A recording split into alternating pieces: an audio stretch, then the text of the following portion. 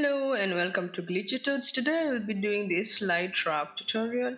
This can be used when you're trying some compositing that is done in MADs or if you want to make your thumbnail have this lighting that is usually looks like how do I explain this? There is a light behind you and there's this outline around the person or in the direction where the light is. Wait, do you actually see it when I'm doing it. I don't think words explain this clearly. Anyway, so let's just get into it. Okay, in case you hear some little birds in the background, this is because there's some nice sparrows that decided to settle outside my room.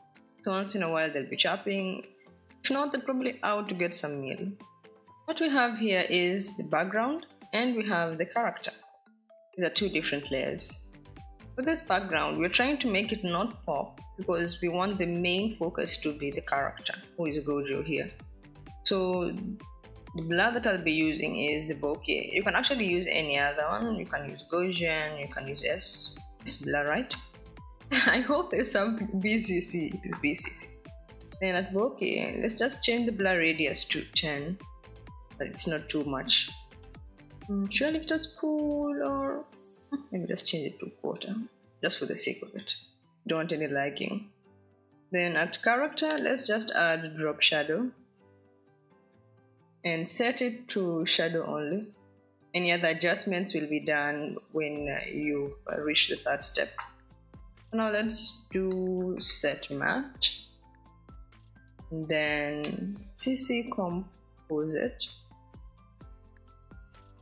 here we're going to come to composite original and change this to behind. Come on. Okay. And uh, make sure you, uh, you disable this, sorry. And you will see him.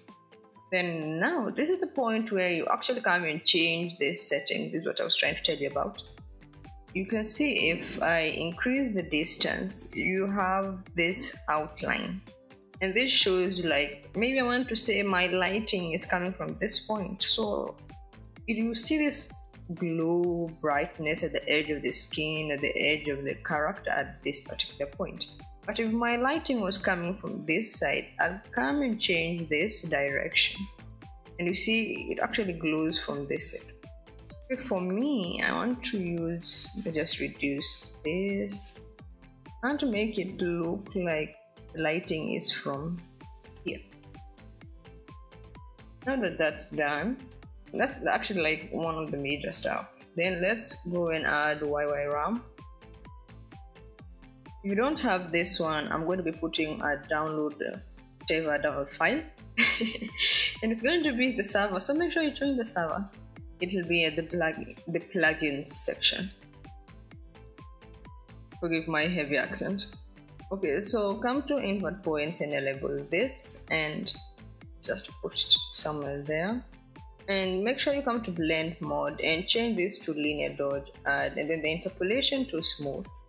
Just adjust ah come on. Adjust this and uh, mm, play around with it until you make it look nice. Yeah I like it somewhere here. After we're done after we're done with that let's add um, adjustment layer and go to Looks and edit it.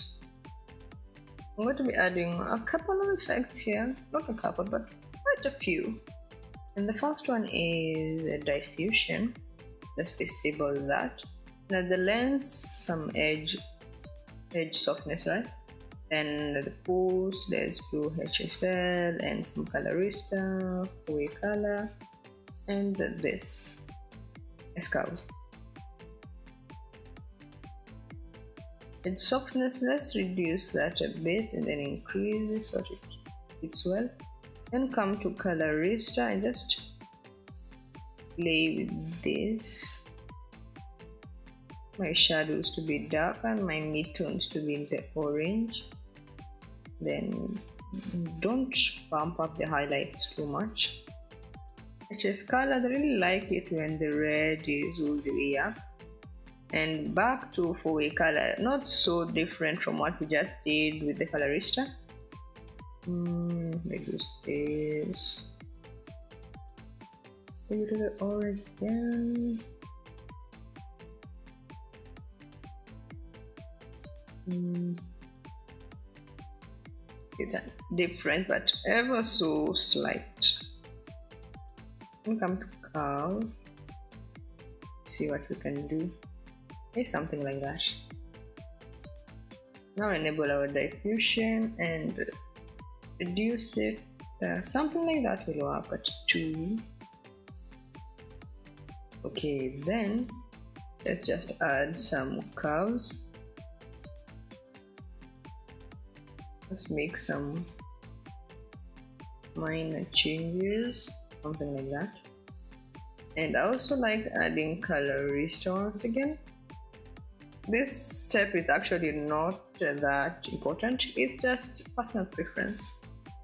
But if you see like it's not much it does you don't need to include it. So let's just remove it to prevent bringing up any confusion. Now we're going to add an optical flare. So let's just add solid and go to optical flares. Set the render mode to on transparent and go to options and here we have several lights, so you can choose any that you actually prefer. There's one that I really like, uh, this one, or something. Then go here and set it as screen. Then the purpose of this light is to like emphasize where the light is coming from, right? And also gives this camera like effect. You know how light reacts when you put it on a, when the camera lens, something of that sort. As long as you actually see its purpose. Okay, so there's also another thing that you can do to add to the glow that usually shines in the background. So let's say we have the character that we already did, like we have everything. And let's just duplicate that character. Let's disable these two for now. Then come to the drop shadow and change this all the way to 100 so that we just have that glow alone. Then you go to deep glow and just click this and you have that. Just adjust this a bit. Okay, so that actually works. But if you don't have deep glow, another thing we can do is use the normal glow and let's just increase this right this uh, radius sorry. And then we go for unmult. But with unmult it's you, you, you need to have this uni one. It does the same thing as just adding deep glow. But yeah that's just an alternative. But I'll just go with deep glow. And let's just enable the rest.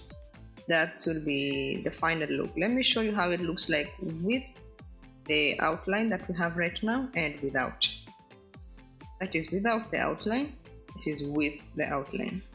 That brings us to the end of the tutorial. If you like what I did, don't forget to like and subscribe and also just join the Discord server. I'm really waiting to see you there. That being said, I will see you guys in the next video.